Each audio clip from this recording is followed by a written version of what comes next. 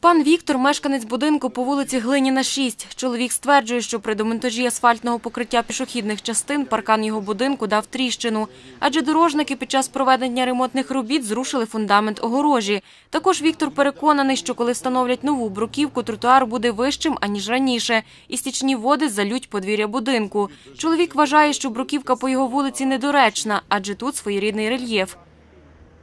Вона е, в зимовий час дуже є травмонебезпечна. Люди тут жаліються, що падають, ламають руки, ноги, тому що щеплення такого, як з асфальтом, особливо зим- зимовий період з, е, обув'ю людей немає.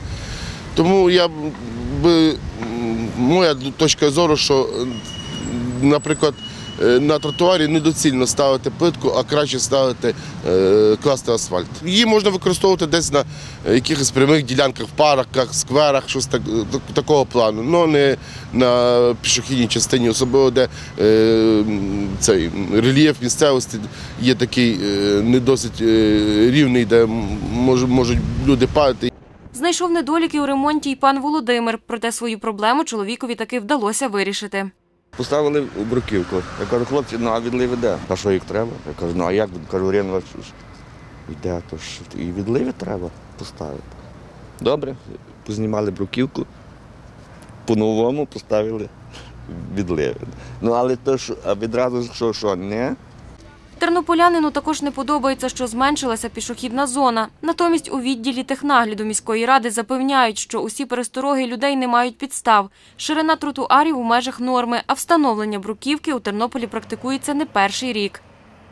Півтора місяця тому почався ремонт на вулиці Глиніна, проведено заміну всіх інженерних мереж, е, перепідключення до житлових будинків, проведено влаштування двох шарів асфальтобетонного покриття, бордюрного каменю. На даний час проводиться влаштування поребрика е, з сторони, якщо їхати від вулиці Глибокої до Бандери, з лівої сторони тротуар.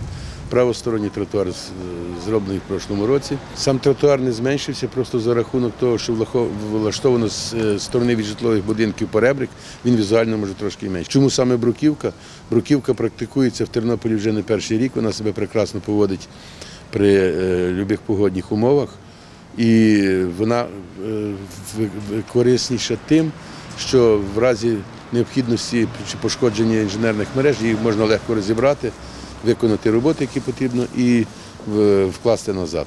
Так що там проблем я ніяких не бачу. Нагадаю, цього року з міського бюджету для ремонту пішохідних частин виділили майже 6 мільйонів гривень. За ці кошти планують відремонтувати 17 тротуарів у різних районах міста. Наразі вже завершили ремонтні роботи по вулиці Новий Світ і Лозовецька. Богдана Сарабун, Андрій Бодак, Вісті ТТБ.